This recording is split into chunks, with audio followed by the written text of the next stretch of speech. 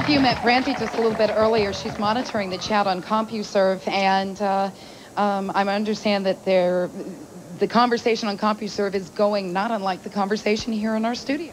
Yes. Um, one of the um, things that they're saying, though, is that there is a fool born every minute, and what are we to do about it? If someone wants to give money to someone like Jim Bakker, then so be it. You can't control what people do. If they want to believe in him and send him money and not care what he does with the money, then that's how it should be. Um, Let's ask that question. Art Harris, I want to turn to you for that.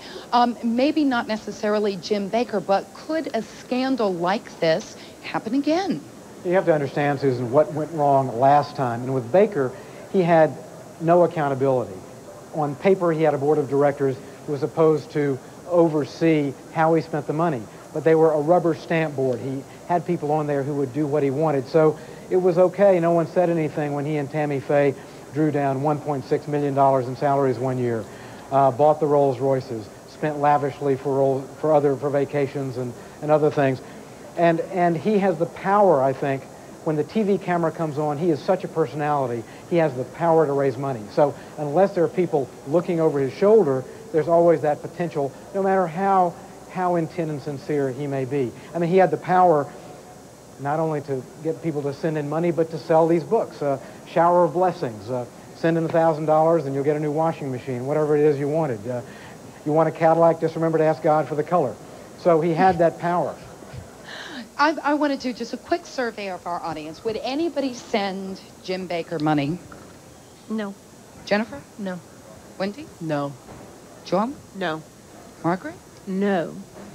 Margaret, you say no very emphatically. Does it make you angry when you hear some people saying, you know, absolutely forgive him, he should be able to go back, and yet, no, you wouldn't send him money? Well, I think should, he should have a job and work every day for his living. That is, by the way, part of his court order. Getting up there, yes, absolutely. What what should he do? Well, there are plenty of jobs that he might be able to get. Um, working for the city, cleaning the streets. Mm, Tamara, how about that? I think he definitely shouldn't be back on television as an evangelist. He may be able to serve, like some of the other people have mentioned, in his mistakes to help others with their mistakes. Okay. Stephen, do you think he would do that? A very limited ministry, very kind of self-effacing?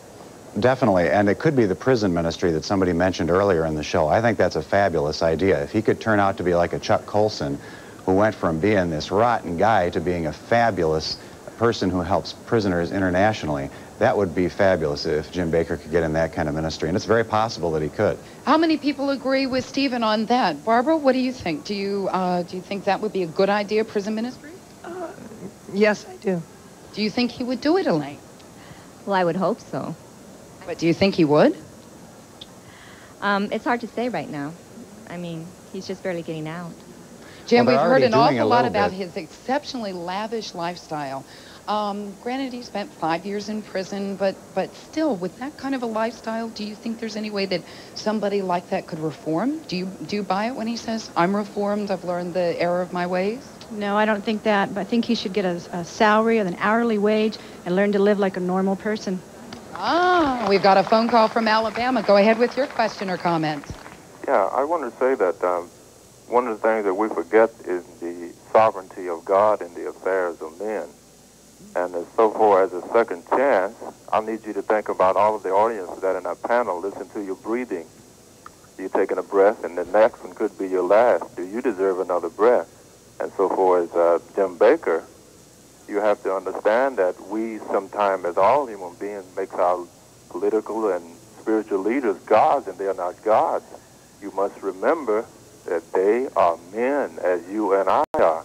And God has sovereignty. He raises up and he brings a man down when he so desires. Reverend Price, I'd like you to speak to that. I'm so encouraged. When this first happened, Jim Bakker blamed Falwell and a number of other people for it happening. Now he is saying God allowed this to happen to him to bring him to where he is today. And I think that's quite commendable. Now, the God of a second chance, I believe in forgiveness totally. But we must remember that there's also the consequence of what we do. For example, David committed the sin of murder, and adultery and was forgiven, but he was not allowed to build the temple. Moses committed sin and was forgiven, but he wasn't allowed to go into the promised land. But they were still used in different roles.